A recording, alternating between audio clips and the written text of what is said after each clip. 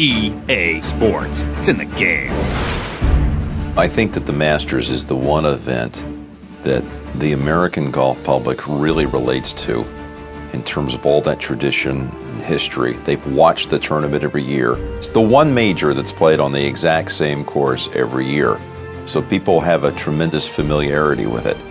The true golf fan knows all the Augusta lore. And there's not really any other course that you can say has that annual renewal of going back and revisiting the memories and forming new ones. This is the chance for people to finally say, wow, I get to go to Augusta. I mean, everyone has this dream of one day going to Augusta either to play it or to attend the Masters tournament.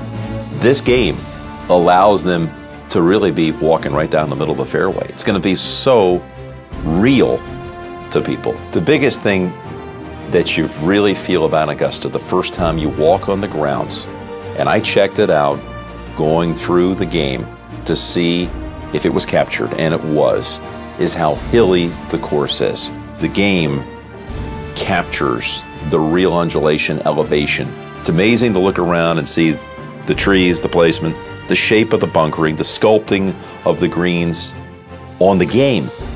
I mean, after looking at all the graphics and, you know, experience it for myself, I was amazed at how much it felt like I was on the grounds of Augusta.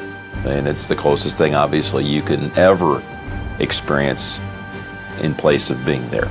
I'm Jim Nantz, and I'm in the game.